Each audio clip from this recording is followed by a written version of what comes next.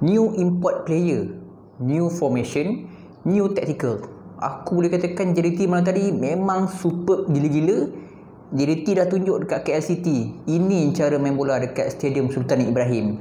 Ha, tiga biji kena bantai. Mantap. Aku berpuas hati sangat. Aku tengok banyak perubahan yang Benjamin Mora dah buat untuk pasukan JDT musim 2022 ni. Okay, so stay tune. Tonton sampai habis supaya korang tahu apa yang aku nak ulas dalam video kali ini.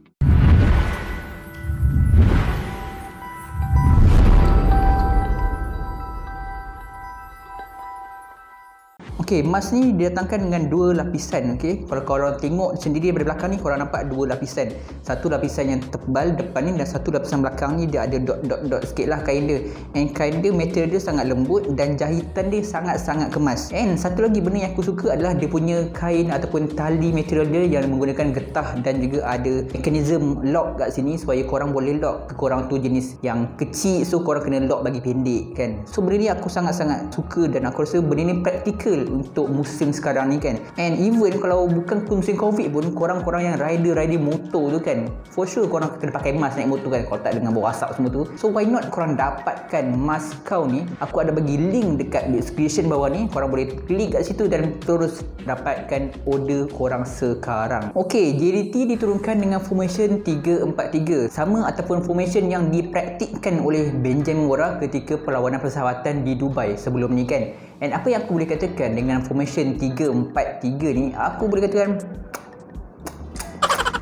Support gila lah. Memang support gila Nampak smooth Walaupun sebelum ni JDT lebih kerap menggunakan formation 4-3-3 Tapi kalau korang perasan Sebelum ni JDT memang guna formation 4-3-3 Tetapi dalam Piala Malaysia tahun lepas Quarter final, semi final, even final pun JDT dah nampak sikit-sikit menggunakan formation 3-4-3 ni. Okay, Tetapi kurang menyelah pada masa tu kan. Then penyelesaiannya dilakukan oleh Benjamin Bora ketika perlawanan persahabatan di Dubai Dengan adanya pemain-pemain import baru. Fernando Forestieri, uh, Di Murga Banyak membantu dia dalam skuad JDT kali ini terutama dalam perlawanan pertama Liga Super 2022 Piala Sumbangsi malam tadi. Aku boleh katakan import player first kali lah. Import-import JDT ni aku sangat-sangat selut import yang baru yang bermain pada malam tadi seperti Fernando Forestieri dan juga Dimuga. Okey, kalau aku tengok Fernando Forestieri berapa kali dia buat try. Okey, berapa kali dia buat try, dia buat gelecekan dan akhirnya dia berjaya. Jaringan pertama dalam karier dia di pasukan Johor Darul Tazim FC. And seorang lagi iaitu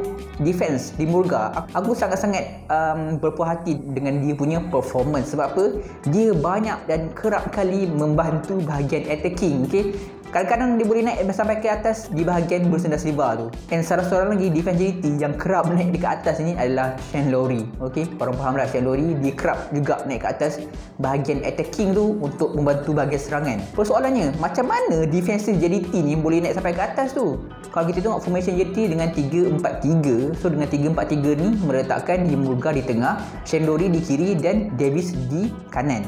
Okay, so mana Kobing Ong? Okay, Kobing Ong diletakkan di bahagian midfield sebelah kiri. Okey, kalau korang tengok dalam game tersebut, Kobing Ong lebih banyak bermain di atas. Okey, dia kurang bermain defensif.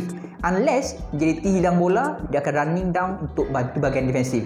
Itu peranan uh, Kobing Ong. Dengan adanya barisan defensif lain JDT yang agak tinggi, so JDT tak takut untuk melepaskan beberapa pemain defensif orang untuk bantu bahagian serangan sekiranya perlu. Okey, kalau dia Muga naik, Naksu Isa akan turun untuk bantu bahagian defensif. Sama juga kalau Shane Lori akan naik sekejap dekat atas, then Naksu Isa akan cover bahagian bawah bawah dia akan backup satu sama lain. Satu lagi benda yang aku nampak kat sini adalah kombinasi um, kefahaman antara Bersen da Silva dan juga Fernando Forestieri okey? 3-4-3 formation meletakkan forward adalah Bersen da Silva sebagai center forward main striker. Uh, Forestieri nampak lebih kerap main di bahagian kiri wing kiri dan Arif Aiman for sure bermain di wing kanan. Kesefahaman antara Bersen dan juga Forestieri ni sangat-sangat bagus okey? Fernando Forestieri bila dia nampak Bersen ni bawa bola ke sebelah kiri Fernando Forestieri akan ambil alih tempat Bersen di bahagian tengah untuk mengisi kekosongan dan menanti hantaran bola daripada Bersen da Silva tetapi Bersen da Silva ni dia kerap ataupun dia lebih suka untuk membuat percubaan-percubaan yang berbahaya.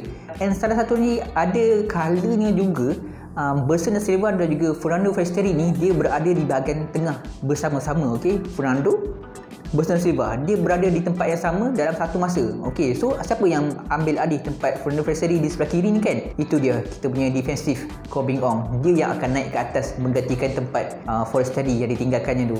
So nampak kat sini tak? Formation 3-4-3 jadi ni sangat-sangat berjaya okey? Naksu Insa berada di tengah.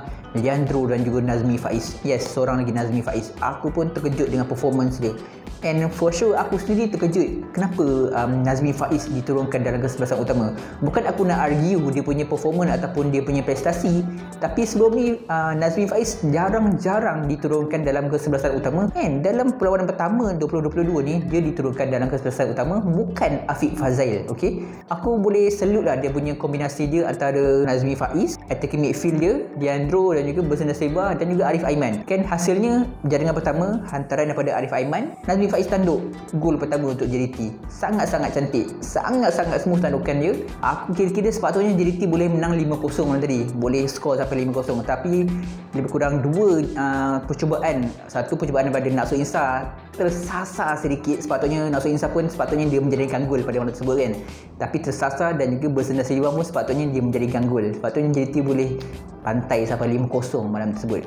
Ok so uh, aku rasa itu je sedikit ulasan dan juga um, perkongsian review aku tentang perlawanan JDT dengan Kuala Lumpur FC JDT menang 3-0 satu permulaan yang bagus untuk JDT dalam musim 2022 and sebelum tu aku nak cakap sikit. Aku rasa formation yang digunakan oleh JDT ni teknikal sekarang ni sangat-sangat sesuai boleh digunakan ketika perlawanan di SCL nanti. Ok ini um, trial SCL punya aku rasa. Okay, trial formation yang akan digunakan oleh Binyumora ketika di saingan SCL 2022 ok so stay tune subscribe. Thank you. Assalamualaikum